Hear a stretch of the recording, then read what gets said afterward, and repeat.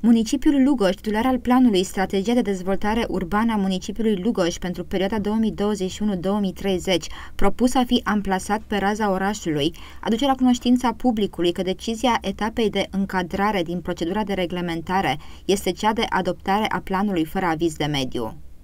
Propunerile de reconsiderare ale deciziei se vor transmite în scris în termen de 10 zile calendaristice la sediul APM Timiș, Bulevardul Liviu Rebrianu, numerele 1818 a Timișoara.